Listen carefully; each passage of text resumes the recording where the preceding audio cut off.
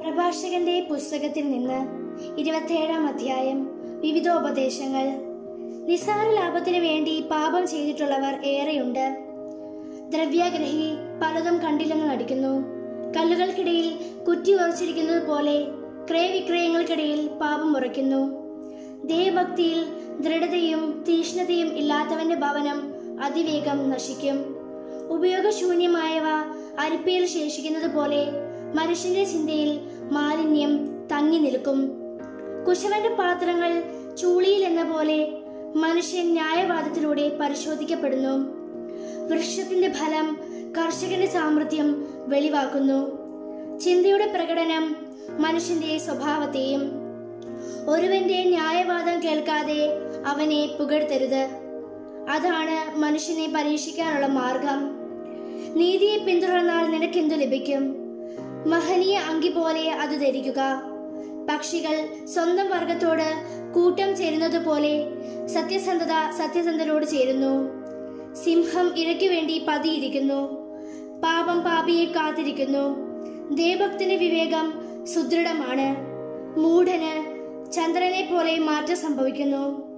മൂഢനെ വിട്ടൊഴിയാൻ നോക്കുക. ബുദ്ധിമാനെ വിട്ടുപോകരുത്. ബോഷിന്റെ സംസാരവും നിന്ദ്യവും അവന്റെ ചിരി അനിയന്ത്രിതവും പാപകരവുമാണ്. ആണിയിടുന്നവരുടെ സംസാരം കേൾക്കുമ്പോൾ രോമഹർഷമുണ്ടാകുന്നു. അവരുടെ കലഹം കേൾക്കുന്നവൻ ചെവി പൊത്തുന്നു. അഹങ്കാരികളുടെ മത്സരം രക്തചൊരിച്ചിലിന് ഇടയാകുന്നു. അവരുടെ ദൂഷണം കർണകഠോരമാണ്.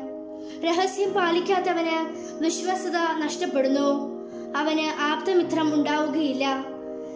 സുഹൃത്തിനെ സ്നേഹിക്കുകയും അവനോട് വിശ്വസത പാലിക്കുകയും ചെയ്യുക. നീ അവന്റെ രഹസ്യം വെളിപ്പെടുത്തുവാൻ ഇടയായാൽ അവനോട് കൂടെ നടക്കരുത്. എന്തെന്നാൽ ശത്രുവിനെ നശിപ്പിക്കുന്നത് പോലെ നീ അയൽക്കാരനെ സൗഹൃദം നശിപ്പിച്ചു. കയ്യിലിരിക്കുന്ന പക്ഷിയെ തുറന്നു വിടുന്നത് പോലെ നീ അയൽക്കാരനെ അകറ്റി. അവനെ വീണ്ടും കിട്ടുകയില്ല. പിന്തുടരാൻ ആകാത്ത വിധം അവൻ അകന്നിരിക്കുന്നു. വയലിൽ നിന്ന് മാൻ എന്ന പോലെ അവൻ രക്ഷിക്കപ്പെട്ടിരിക്കുന്നു. മുറിവാണെങ്കിൽ വെച്ചു കെട്ടാം. ദൂഷണത്തിന് ശേഷവും അനുരഞ്ജന സാധ്യമുണ്ട്. രഹസ്യം വെളിപ്പെടുത്തിയാൽ പിന്നെ പ്രതീക്ഷയ്ക്ക് വകയില്ല. കണ്ണു ചിമ്മുന്നവൻ തിന്മ നിലയ്ക്കുന്നു അവനെ തടയാൻ ആർക്കും കഴിയുകയില്ല. നീ കേൾക്കെ അവൻ മധുരമായി സംസാരിക്കും. നിന്റെ വാക്കുകളെ അവൻ ശ്ലാഘിക്കും.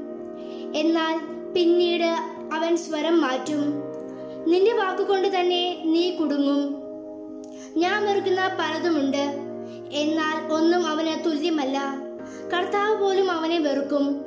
നേരെ മുകളിലേക്ക് കല്ലെറിയുന്നവൻ തന്റെ തലയിലേക്ക് തന്നെയാണ് എറിയുന്നത്. ചതിപ്രയോഗം ചുറ്റും മുറിപ്പെടുത്തുന്നു. താൻ കുഴിച്ച കുഴിയിൽ താൻ തന്നെ വീഴും. താൻ വെച്ച കെണിയിൽ താൻ തന്നെ കുടുങ്ങും. താൻ ചെയ്ത തിന്മ തന്റെ മേൽ തന്നെ പതിക്കും.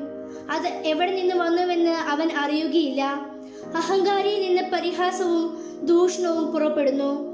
പ്രതികാരം സിംഹത്തെ പോലെ അവന് വേണ്ടി പതിയിരിക്കുന്നു. ഭക്തൻ വീഴുമ്പോൾ ആനന്ദിക്കുന്നവൻ കെടിയിൽ കുണുങ്ങും. മരണത്തിനു മുമ്പ് വേദന അവനെ വിഴുങ്ങും. കോപവും ക്രോധവും മ്ലേച്ഛമാണ്. അവ എപ്പോഴും ദുഷ്ടനോട് കൂടെയുണ്ട്